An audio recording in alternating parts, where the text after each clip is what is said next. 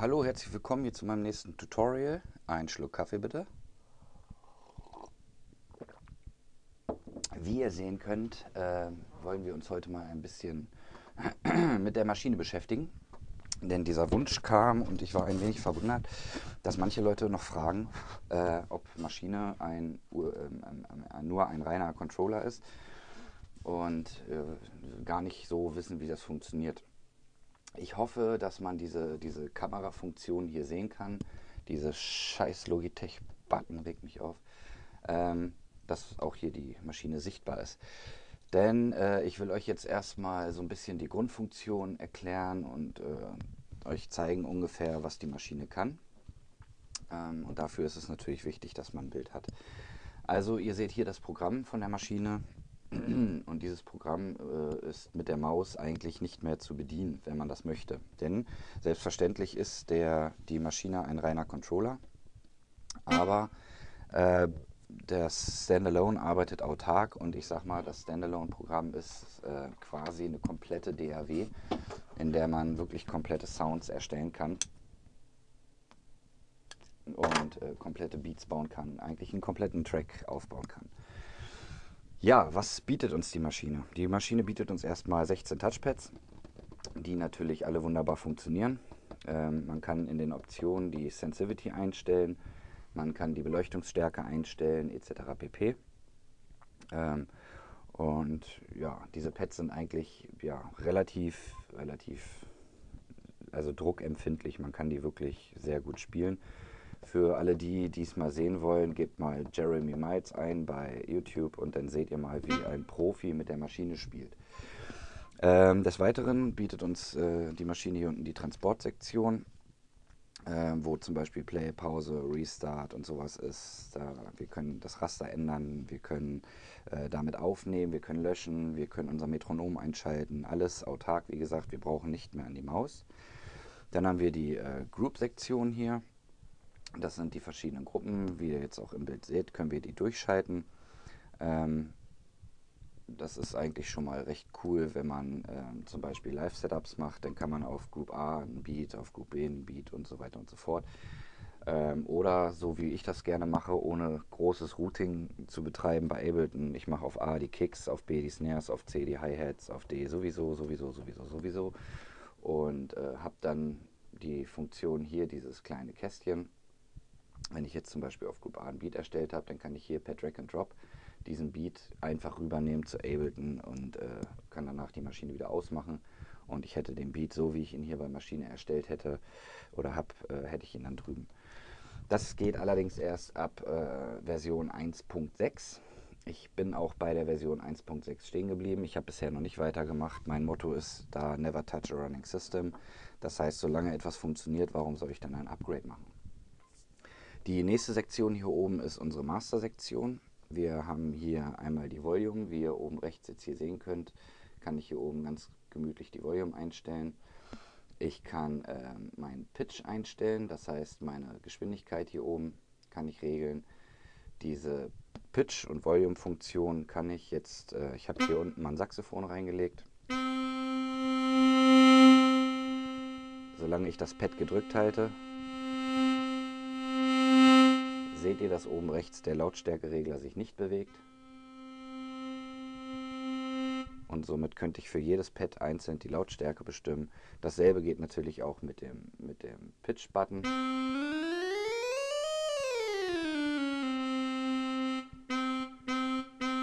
Ja, und die ganzen Änderungen werden mir hier oben in meinen äh, kleinen LED-Displays hier oben, wird mir das alles schick angezeigt. Dann äh, das nächste ist der Swing. Das ist für mich einer der wichtigsten Knöpfe, den diese Maschine bietet, weil warum werdet ihr nachher hören. Ich habe also hier die Möglichkeit, meinen Swing einzustellen. Ähm, hier oben der ganze Bereich, dieses Monitoring, sage ich mal, ähm, ist ein Bereich, mit dem ich mich selten beschäftige und mich auch nicht wirklich auskenne. Ähm, alles, was ich dazu sagen kann, ist, dass ich hier oben quasi meine äh, Effekte bedienen kann. Ich kann hier oben meine Sounds raussuchen. Ich kann äh, meine Sounds durchschalten. Ich kann hier, wenn ich jetzt hier auf dem Browser bin, kann ich jetzt zum Beispiel sagen, okay, äh, ich möchte hier durch meine Library scrollen. Ja, und wenn ich jetzt sage, okay, den möchte ich haben auf Pad B, dann kann ich sagen, okay, Load auf Pad B und dann habe ich hier mein, ähm, ja, mein Sound geladen quasi. Hm. Ich kann hier oben des Weiteren äh, meine Gruppen bestimmen, also meine Sub Subtypen quasi bestimmen, was ich haben will. Ich kann, wie ihr hier seht, ähm, fangen wir anders an, ich kann hier wählen Bass, Chor, Gitarre, Keys, Leads, bla bla bla. Also ich habe hier eine Menge äh, Sounds mit bei. Ich kann aber auch sagen, okay, ich möchte nicht unbedingt die Instrumente spielen, sondern ich möchte jetzt eher auf Samples gehen, äh, wie zum Beispiel meine Drums. Dann könnte ich hier sagen, ich bräuchte eine Kick, ich bräuchte eine Subkick und da wähle ich mir jetzt die 9092 aus, wähle mir mein Pad aus und lade sie hier rein. Ja, das alles kann Maschine. Dann kann ich hier in den Sampling-Modus gehen, was äh, sehr interessant ist, was ich aber auch eher bei Ableton dann wieder mache. Und ich kann mir jetzt hier das Sample äh, quasi zuschneiden, so wie ich es brauche. Ähm, ich kann, ja, ich kann die Startzeit ähm, bestimmen, wobei jetzt habe ich gerade auf Recording gedrückt. Jetzt hätte ich zum Beispiel hier Startzeit, an die Startzeit, an, an, die, an die Startzeit, an die Startzeit. Habe ich mich jetzt selber aufgenommen. Ähm, ich könnte hier oben meinen Step-Sequencer einschalten. Das heißt, ich habe hier meine, meine Steps jetzt gesetzt, wie man ja sieht. Und jetzt könnte ich das nächste Feld wählen und sagen. Und auch hier.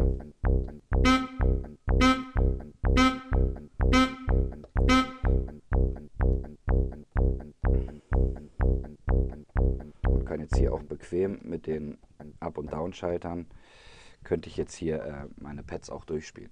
Aber wie gesagt, das ist, sind Funktionen, die ich eher selten nutze, weil ich nutze Maschine eigentlich dann ähm, eher, um einen kurzen Beat aufzubauen und, und äh, das Ganze dann zu exportieren, bei Ableton äh, zum Beispiel rein zu importieren, importieren, exportieren. Und dann, äh, ja, dann kann ich das besser nutzen. Ähm, ich habe eben schon was zu der Library gesagt. Äh, Maschine bringt von Haus aus eine 15 GB Library mit. Äh, ich zeige euch hier mal kurz die, die ein, einzelnen Kicks. Alleine schon, äh, das sind jetzt die Subkicks. Ich kann ja euch mal die Subkicks durchspulen.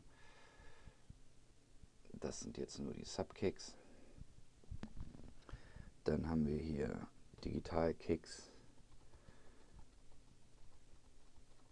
Und so weiter. Also die Liste ist wirklich endlos lang und ähm, ja, die Maschine bietet mir eigentlich wirklich alles, was ich brauche.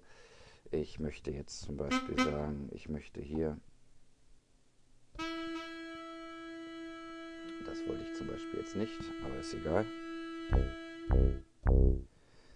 Ähm, das ist so ein kleiner Nachteil, immer wenn man auf das Pad klickt, dann äh, sucht er wieder das raus, was er, vorrangig äh, drin hatte. Nämlich, er ist dort wieder auf mein Saxophon gesprungen. Gut, aber ich möchte jetzt meine 808-Kick hier haben, also mein 808. Und ähm, ich mache das wieder ein bisschen lauter. Und jetzt seht ihr hier oben ähm, in diesem Menü, seht ihr hier vier Anzeigen. Ähm, diese Anzeigen sind eigentlich, ja, was heißt Anzeigen? Ich kann hier meine, meine, ähm, meine Effekte drauf machen, die zum Beispiel direkt aus der Maschine kommen. Welches jetzt hier zum Beispiel das Metaverb ist.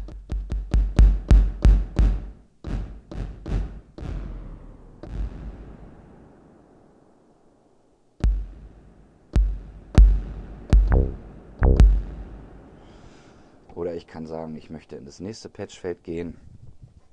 Ähm, dort kann ich mir dann jetzt meine Module nehmen. Das ist zum Beispiel hier. Dann kann ich hier sagen, alles klar, meine FX. Jetzt möchte ich zum Beispiel eine Distortion haben. In dem Falle ist das die Extreme Distortion.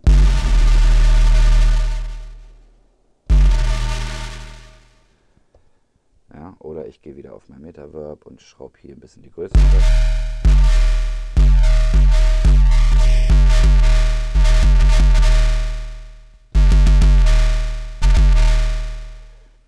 ich kann auch hier sagen, der Mix. und so weiter und so fort. Also ihr seht, ich habe eine recht große äh, Datenbank quasi hier mit drin, äh, mit meinen ganzen Effekten. Ich bevorzuge zum Beispiel dieses Ice Reverb hier. Ich ziehe das jetzt einfach mal mit der Maus rein, damit ihr auch hier die Funktion mal seht. Ähm, hier kann ich jetzt zum Beispiel sagen Ice Verb und hier sage ich äh, mal keins.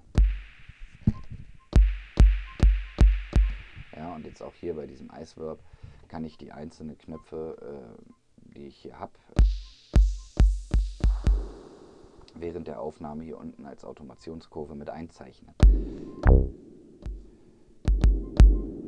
Ja, was habe ich noch? Seit Maschine 1.6, ähm, welches das ja hier ist, habe ich die geilste Möglichkeit aller Zeiten, womit sich Native Instruments auch echt weit nach vorne gespielt hat, muss ich mal behaupten.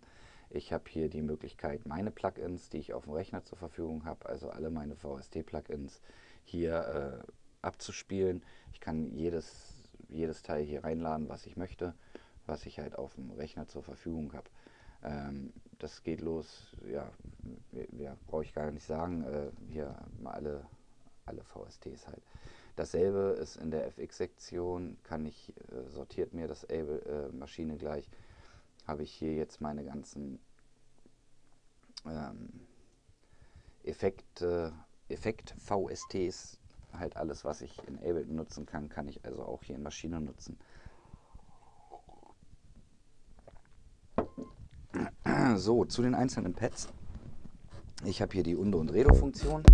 Das heißt, äh, wie ne, bei Ableton mit Steuerung Z vor und zurück. Ich habe eine Split-Funktion, das heißt, ich kann einzelne äh, ähm, eingespielten Noten splitten. Ich habe die Quantize 100 Funktion, also die 100% Funktion, die, also die ganzen Tasten, die hier sind, sind natürlich doppelt belegt. Und immer wenn ich dann die Shift-Taste drücke, könnte ich jetzt hier zum Beispiel den Quantize-Button auswählen und der quantisiert mir das Quanti, Quanti, quantisiert mir das auf 100%. Äh, was ich hier aber viel schöner finde, ist die 50% Funktion, was denn dieser Button wäre. Dort kann ich mir halt sagen, quantisiere das nur mal zu 50 Prozent, somit bleibt der Menschlichkeitsfaktor so ein bisschen drin. Die Nudge-Funktion ist eigentlich, wenn ich hier meine, meine Felder ein bisschen größer mache, dann kann ich hier quasi dann, äh, wenn es zu groß wird, durch die Felder durch, durch äh, ähm, switchen. Ich habe die Clear-Funktion, das heißt, wenn ich jetzt hier zum Beispiel eine Aufnahme hätte, äh, wenn ich jetzt sage hier und da und dann ähm, den entsprechenden Sound auswähle, dann kann ich die ganze Funktion clearen. Ach, ich drücke auch die ganze Zeit den falschen Knopf. Sagt mir das doch mal einer. Ähm, die Automationskurven könnte ich hier rausnehmen. Ich habe Copy und Paste. Ich habe die Semitöne hoch und runter. Das heißt, könnte hier sagen, alles klar. Oder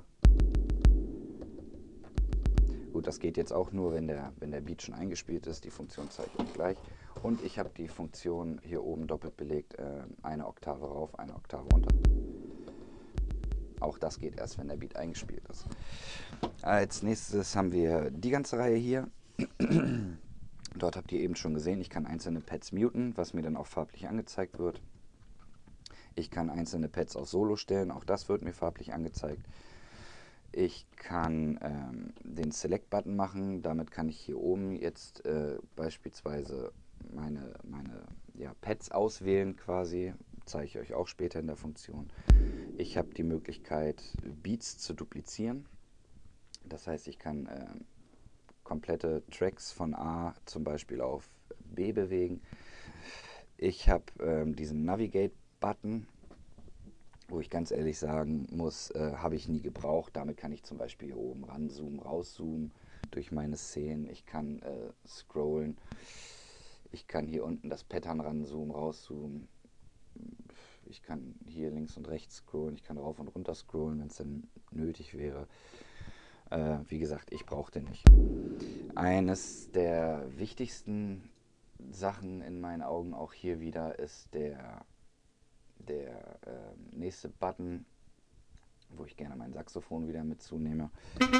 Das ist nämlich der Pad Mode Button und ich habe hier die Möglichkeit auf Keyboard zu switchen, welches jetzt auch ähm, aktiviert ist und aktiviert bleibt. Ne? Das sieht man hier oben.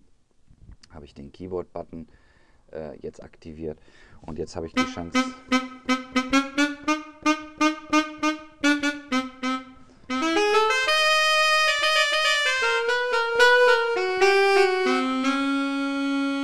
Ja, und wer Mr. Saxo Beat kennt, ähm, der wird auch dieses Saxophon wieder erkennen. Ähm, macht natürlich Laune, damit rum zu experimentieren. Jetzt nicht nur mit dem einzelnen Saxophon, sondern natürlich mit allen Instrumenten. Was mir aber nicht mein äh, MIDI-Keyboard ersetzt, im besten Falle. Ne? Man stelle sich vor, man hat jetzt eine 15-jährige Ausbildung in einer Musikschule genossen und die Mama sagt, du gehst zur Musikschule und ich möchte, dass du ein Beethoven wirst. Und dann kauft sich der Junge eine Maschine und braucht auf einmal kein Instrument mehr. Nein, das ist Blödsinn. Ich kann natürlich mein MIDI-Keyboard ganz normal anschließen und äh, auch damit dann sagen, okay, äh, ich spiele meine Noten via MIDI-Keyboard ein. Ich, bei mir geht das jetzt nicht. Ich habe mein MIDI-Keyboard äh, ja, nicht aktiviert in den Options. Ich brauche es eigentlich auch nicht, weil, wie gesagt, ich mache hiermit keine melodischen Sachen, zumindest nicht unbedingt, sondern ähm, ich mache damit eigentlich eher Beats und Drums. Hier oben eine, äh, auch zwei wichtige Knöpfe für die Leute, die ähm, komplette Beats bauen wollen oder komplette Tracks bauen wollen. Ich kann hiermit durch die einzelnen Patterns durchscrollen. Das heißt, ne, ich kann auf Pattern 1 beginnen, auf Pattern 2 kommt dann meine Snare dazu, auf Pattern 3 kommen meine Heads dazu und so weiter und so fort. Das Ganze ist taktgerecht, das heißt, ein Pattern spielt immer zu Ende und dann, wenn ich während des laufenden Pads auf 2 drücke, spielt er danach auch das zweite Pads. Und dasselbe habe ich hier oben mit den Szenen.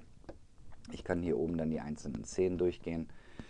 Ähm, ja, ihr seht, die Möglichkeiten sind quasi endlos. Gut, ähm, der drittwichtigste Knopf in der Maschine ist äh, genau der hier. Ich kann hier einmal das Tap-Tempo durchswitchen, was ähm, eher uninteressant ist, weil wir wissen zum Beispiel, wir wollen auf 127 BPM gehen. Aber es ist auch dieser Note Repeat Button, in dem ich zum Beispiel sowas machen kann. Und auch hier kann ich die Value verstellen.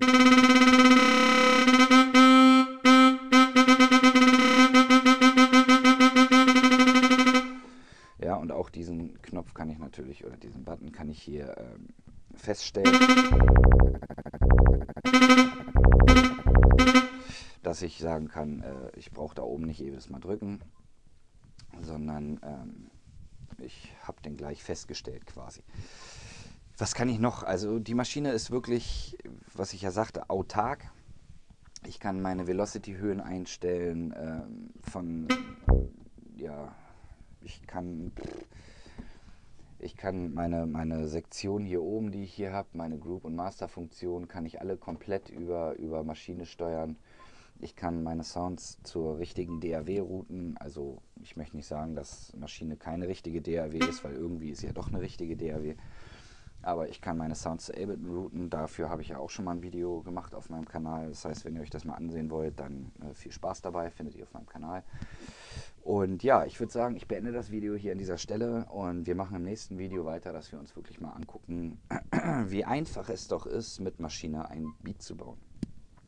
Gut, Leute, ich würde sagen, äh, viel Spaß erstmal so beim Rumprobieren, wenn ihr dann die Maschine zur Verfügung habt. Wenn nicht ähm, und ihr seid am Überlegen, ob APC oder äh, nicht APC, Mensch, wie hieß denn das andere Ding hier? MPC, glaube ich, ne? von, I von AK.